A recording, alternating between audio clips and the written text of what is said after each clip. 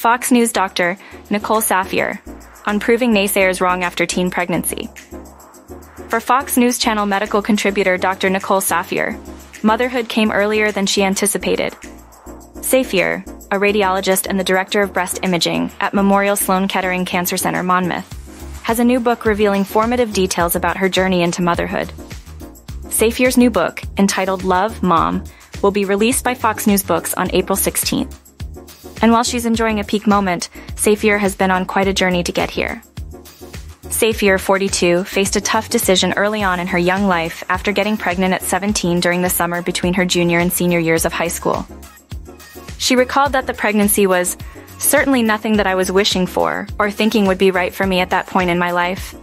Saphier also came to the stark realization that those she thought were her friends weren't there for her.